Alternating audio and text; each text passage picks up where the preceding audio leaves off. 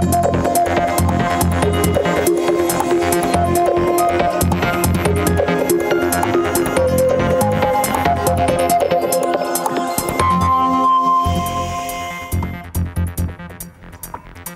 Saludos, buenas noches. ¿Qué tal? Muchas gracias por escoger TG7 para informarse de lo que sucede en Granada. El Ministerio de Fomento recibirá al alcalde de la capital, Francisco Cuenca, el próximo 15 de junio en Madrid.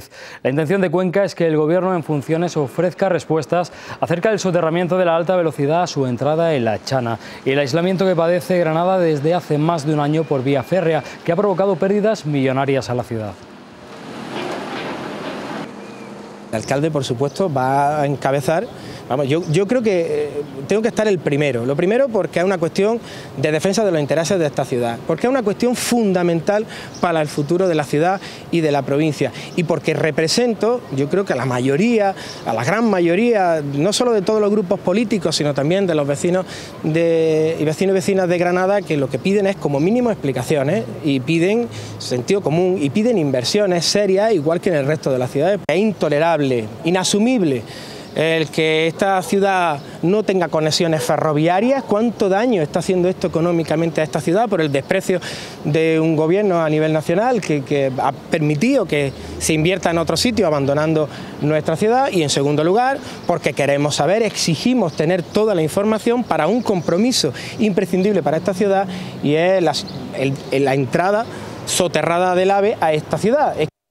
Y el anuncio de que el Ministerio, a través del secretario de Estado de Fomento, mantendrá esta reunión lo ha hecho Francisco Cuenca precisamente en La Chana, donde hoy ha realizado su primera visita de barrio oficial como alcalde de la capital. Ahí se ha reunido con la Asociación de Vecinos en un encuentro de trabajo que tiene como objetivo comenzar a paliar algunas de las principales necesidades en distintas materias como puede ser la limpieza.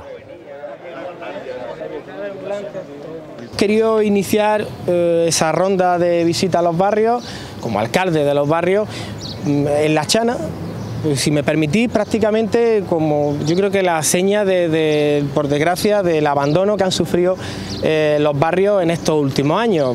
Barrios que no solo es que hace tiempo que no se le daba la cara para los principales problemas que tienen, hemos podido abordar los principales asuntos que son de demanda, de preocupación por parte de los vecinos en esta ciudad, que tienen mucho que ver con, el mantenimiento, con los servicios, con la limpieza. He tenido la diferencia de hacer la primera visita oficial al barrio de La Llana porque bueno, el barrio de La Llana, él bien sabe cuando han sido oposición en las distintas visitas de barrio que nos han hecho, conoce nuestra problemática, el estado de abandono que ha sido sometido a nuestro barrio y bueno, pues estamos esperanzados, cuanto más creemos que es el momento de pasar, de dejar las palabras, pasar a los hechos y la política que entendemos que este, este nuevo gobierno municipal va a ejercer con los barrios, estamos muy esperanzados.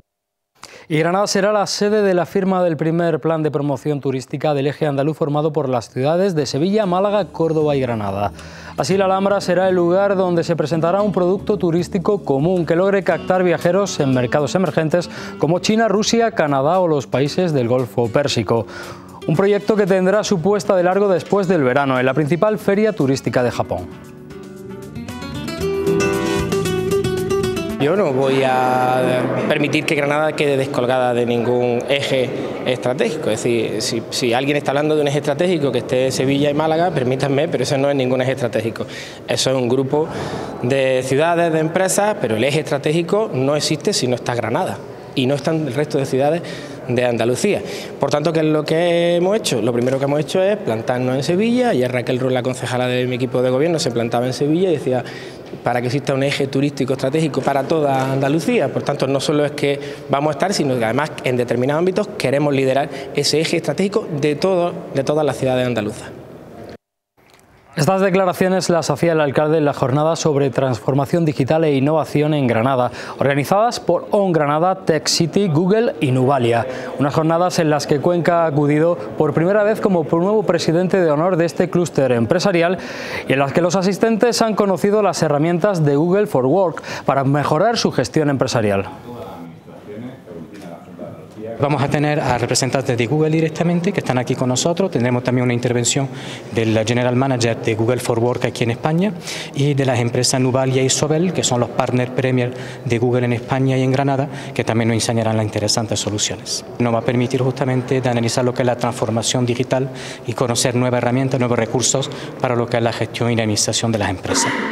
Esa búsqueda de la modernización de nuestras empresas, la, alianza entre distintos sectores y em, empresas fundamentales e importantes como eh, Google requiere toda la atención del ayuntamiento y por eso el alcalde lo que pretende sobre todo es que haya una línea fundamental estratégica que permite localizar aquí empresas, empresas estratégicas, alianzas estratégicas y creación de empleo, que es el objetivo fundamental de un ayuntamiento. El alcalde también se ha pronunciado sobre la entrada en prisión ayer del joven condenado a cinco años de cárcel por pagar 79,20 euros con una tarjeta que resultó ser falsa. Cuenca ha lamentado la falta de respuesta por parte de la subdelegación del Gobierno a la solicitud de mediación para obtener el indulto total o parcial para Alejandro Fernández y ha mostrado su deseo de que permanezca en prisión el menor tiempo posible. Es un chaval que está reinsertado, que tiene su normalidad, su trabajo y por tanto es difícil de entender. Dicho eso, yo he solicitado, lo dije públicamente junto a él, que, hay que tramitar ese indulto, que tiene que ser atendido el, indulto y no siendo así, lo que evidentemente este alcalde sigue reiterando la necesidad de que el gobierno rectifique y que haga algo que es de sentido común y es que este muchacho pase el menor tiempo posible en la cárcel porque es difícil de entender. 80 artistas participan en A la calle Escultura en la ciudad, un proyecto que entre el 10 y 30 de junio se desarrollará en seis edificios emblemáticos de la capital en los que se podrán ver sus obras. La Casa de San Matías, el Cuarto Real de Santo Domingo, el Aljibe del Rey, la Casa Museo de Max Moró, el Auditorio Manuel de Falla y la Casa Zafra acogen las esculturas de artistas emergentes, todos ellos estudiantes de Bellas Artes. Se trata de un proyecto que ha organizado la Facultad de Bellas Artes en colaboración con el Ayuntamiento de Granada.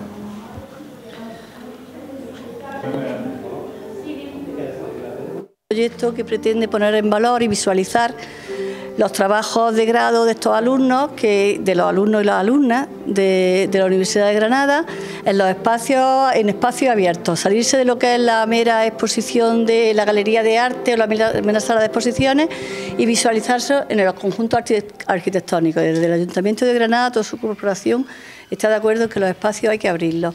Los espacios, el patrimonio de Granada hay que abrirlo a la ciudadanía y, como no, a los alumnos de esta, de esta facultad para mostrar, para que mezclen su arte con el arte ya patrimonial. La colaboración, la implicación y la profesionalidad de todos los alumnos de Bellas Artes que participan en el evento, que son fantásticas, fantásticos y fantásticas artistas, y, pero que además son eh, unas personas con una calidad humana eh, de verdad eh, dignos de admiración. El Grupo Municipal de Ciudadanos ha exigido esta mañana en rueda de prensa que se aplique la máxima transparencia a la hora de seleccionar a las personas que sean incluidas dentro del Plan Emplea Joven. Y para ello han pedido que se publiquen los criterios de selección y puntuación en la página web del Ayuntamiento. Nosotros venimos a poner de manifiesto que nosotros vamos a pedir, tanto al equipo de gobierno, para que se haga esa publicación de transparencia de los criterios de selección y la puntuación que han obtenido en el criterio de selección, porque, repito, como viene aquí recogido en, en, otros programas anteriores, pues al final se elegía a dedo, llegaban de los tres, decían tú, el otro tú, y al final gente de marketing que estaba pensada pues, para desarrollar diferentes negocios y prestarle ayuda y crear una sinergia, pues empleaban para ticar la LAC o se, emplean para, para pintar volardo. Entonces lo que no queremos es eso y lo que queremos que se piense en las personas. Este programa está destinado a las personas, tanto jóvenes como mayores de 30, y por tanto debe ser destinado a ellos con un fin claro que es el que tiene. Si distorsionamos el fin que tienen estos programas no sirven para nada. La Dirección General de Memoria Democrática de la Junta de Andalucía ha dado finalmente luz verde al inicio de las excavaciones en la zona en la que podría estar enterrado el poeta Federico García Lorca en Alfacar, tras la petición de la asociación Regreso con Honor. Tras recabar varios informes jurídicos, la Dirección General ha determinado que esta asociación puede iniciar una primera fase de los sondeos con las licencias oportunas, sin necesidad de un permiso específico, ya que no ha solicitado subvención pública alguna. En el caso que en el transcurso de los trabajos se encontraran restos humanos con signos de violencia, sí que el equipo de investigadores tendría que contar con el permiso preceptivo de la Junta de Andalucía, de acuerdo al protocolo de exhumaciones. Uno de los principales peligros que trae el verano es la exposición al sol. Cuidarse es fundamental para evitar algunas patologías que en algunos casos pueden ser muy graves. El sol es el responsable de un envejecimiento prematuro de la piel, además de enfermedades muchísimo más graves, y todavía hay personas que no son conscientes del daño que la radiación solar puede hacerles. Depende del fototipo de cada persona, va a necesitar más o menos protección. Eh, las personas de piel muy clarita necesitan la protección más alta, que es el 50 más, el 50 plus. Y bueno, ya también depende de la zona en la que vivas, del el tiempo que vayas a estar expuesto al sol, de si tienes manchas. Siempre una protección más elevada te va a ir mejor. Texturas tienes de todas, para facial tienes texturas muy fluidas, mm, texturas que son casi agua, texturas en crema, en emulsión, con color, sin color, por si quieres maquillada y protegida a la vez. Y para el cuerpo tienes igual, tienes lociones más untuosas para personas con la piel muy seca, spray, pues eso, pues para personas que no les gusta la sensación de crema sobre la piel o, o los caballeros que tienen vello para que se la extienda muy fácil. Las pieles más claras y los niños menores de 4 años son los más sensibles a la radiación, por lo que deben evitar la exposición solar lo máximo posible. Los niños tienen que tener mucha precaución, hay precaución especial. Normalmente a los bebés se les evita la exposición solar. En los productos te va a poner que a partir de 6 meses no los exponga hasta los seis meses no los exponga al sol. Hay productos específicos de bebé que son más respetuosos con su piel. Lo importante es protegerte, no dejar de protegerte porque no te guste la sensación de crema sobre la piel ni nada así.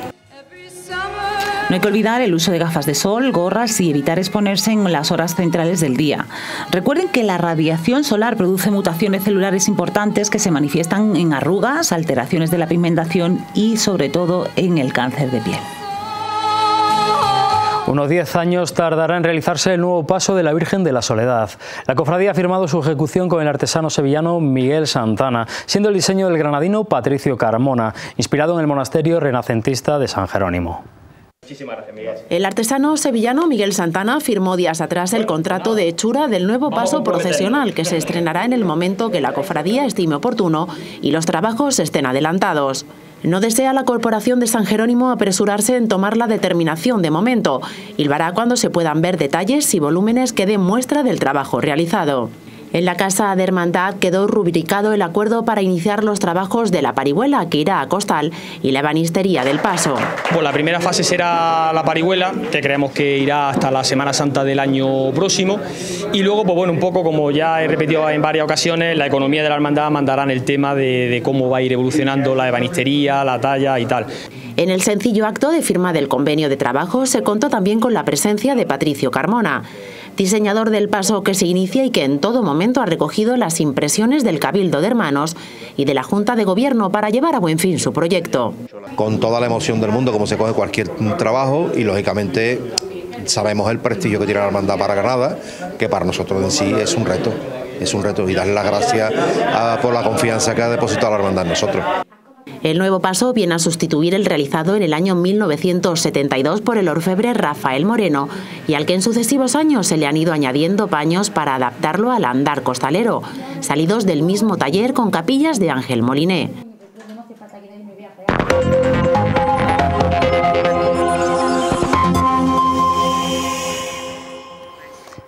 Tiempo ahora para hablar de deportes con Fran Latorre. Fran, buenas noches. ¿Qué tal, Dani? Y bueno, tras el traspaso, vamos, tras la decisión del Consejo Superior de Deportes de dar el visto bueno a esta venta de Granada, pues faltan detalles importantes. Formalizar, formalizar el traspaso de, poderes entre los Pozos y Jean Lissan, que se supone que no debe tardar mucho para que así el nuevo equipo, el nuevo conjunto que va a llevar la rienda del Gran Club de Fútbol empiecen a tomar decisiones. Las primeras que tienen que tomar son deportivas. Hoy, eh, Pera Guardiola le daba de plazo hasta hoy a Jorge Sampeoli para decidirse si aceptaba la propuesta rojiblanca o decidía no venir. No sabemos si es horario europeo o es horario americano, pero el tema está en que hoy Jorge Sampaoli pues tenía que decir si quería venirse para Granada o no. Así que quizás esa sea la primera gran novedad, la primera gran confirmación de esta nueva junta gestora, de este nuevo equipo que va a dirigir a Granada durante algún tiempo. Así que esperemos que después del entrenador pues vengan ya las confirmaciones de los jugadores, que es lo que los aficionados quieren, ¿no? que vengan ya nombres conocidos sobre todo para que la ilusión se mantenga en todo lo alto. Bueno, pues vamos a hablar de todo esto y algunas cositas más ahora en Deporte 7. En un ratillo. Muy bien, Fran.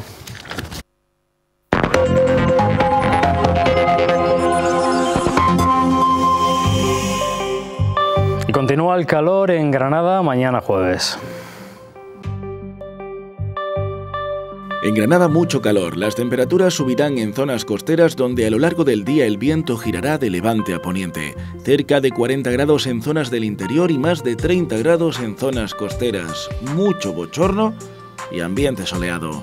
Igual en Sierra Nevada, donde el cielo estará despejado el jueves por la mañana. A medida que avance el día, el cielo estará un poco más nuboso y el ambiente será agradable.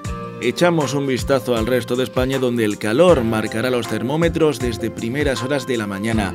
Amanecerá con temperaturas de 20 a 22 grados en el suroeste y el Ebro y de 17 a 20 grados en muchas otras zonas. Las temperaturas serán muy altas, hasta 40 grados en el Guadalquivir y el Guadiana y 34-36 grados en la zona centro. La noche calurosa con termómetros que no descenderán de los 15 grados en prácticamente ningún punto del país y se quedarán por encima de los 20 en el suroeste y el Ebro.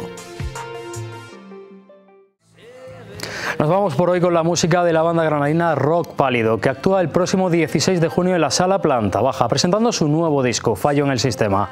Buenas noches y hasta mañana. Se quebró